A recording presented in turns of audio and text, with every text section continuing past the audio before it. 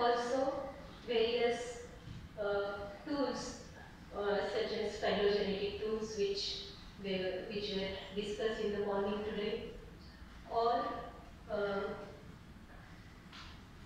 so, so, such tools which are being developed, they are making uh, Sanskrit technology friendly.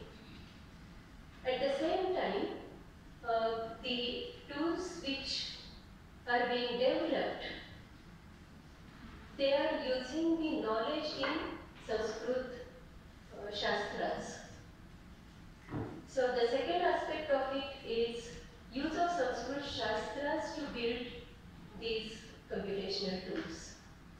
So uh, I am emphasizing this part of uh, use of Sanskrit Shastras because uh, we have this tradition of Panini and the theories of Shabdabodha which deal with language communication, the problem of language communication. And uh, we have strong scientific base developed in India for understanding how a language works, how a language communicates. So there are these efforts of using this knowledge for building various tools and uh, in Professor Rajiv Sangal's keynote speech and also today in uh, Professor Purana Subramanian's speech, we found uh, we, we found the emphasis on the knowledge that exists in Indian grammatical tradition and how we can make uh, use of it. So, um, so we, uh, if, if we look at whatever has happened in the last 12 years, I see that uh, there are uh, efforts in both areas uh, in strengthening Sanskrit or strengthening, uh, building the technology to strengthen Sanskrit, make Sanskrit technology friendly, and at the same time we also have uh, efforts to look at the Indian grammatical tradition and take insights from this tradition to develop uh, computational tools. Uh, I think uh, before going to uh, what what is there ahead, I would like to uh, hear from other panelists on their views on uh, what we have achieved so far, and then we can start uh, uh, we go ahead. So, Question uh, Madhavan. Hello. so,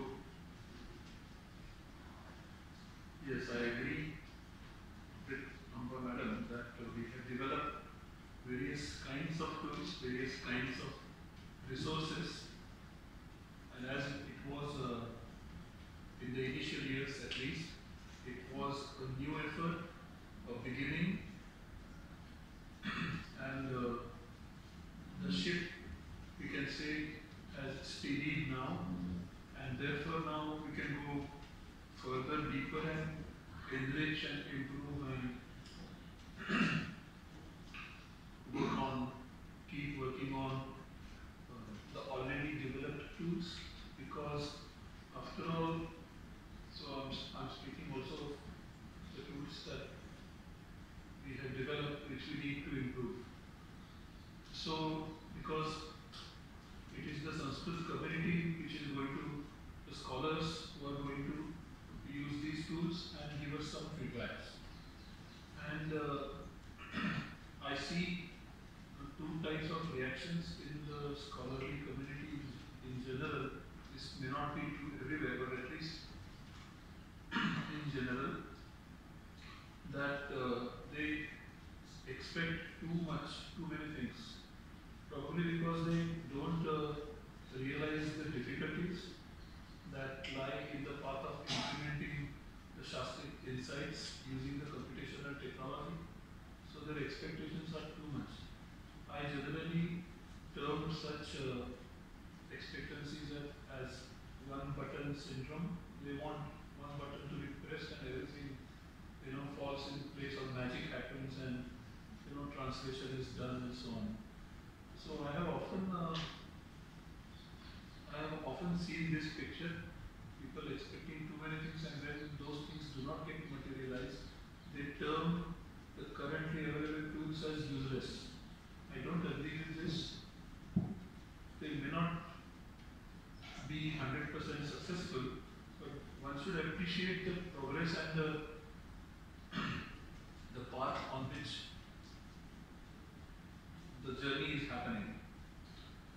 That is about, uh, in general, an attitude and approach that I would expect um, the Sanskritists to have, including myself. I'm trying to also have more patience towards uh, these tools and try to develop uh, an insight in the meanwhile, namely how the computer technology and its incremental understanding helps my understanding of Sanskrit Shastras.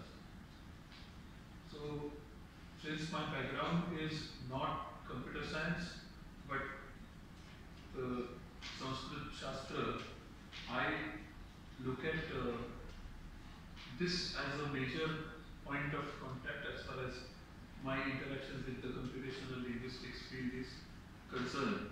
And I see that there is quite a lot that I that is there for me as a takeaway because I see that various problems that the computational implementation throws at us make makes us think,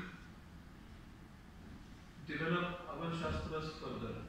So I always tell my students, PhD students, to also think of adding some new work in Sanskrit based on their experiences of computational technology. So, for example, we develop, we are working on another aspect of Yogyata relations, and our effort is to write something new in Sanskrit based on our approaches of our work using the computational technology. So we have formulated some such rules in Sanskrit and so on. So the lot of tools that we have developed, I think they need to, those efforts need to carry themselves forward. And of course, I've been hearing this term again about lot of uh, lot of errors and dust and so on. Yes, that is not not accepted, and that needs to be removed. Everybody will accept that those errors, those dust points, they need to be removed, and they will be removed eventually. We expect them to be removed, and the data needs to be cleaned from that point of view. I think that is what I want to say at this point of time.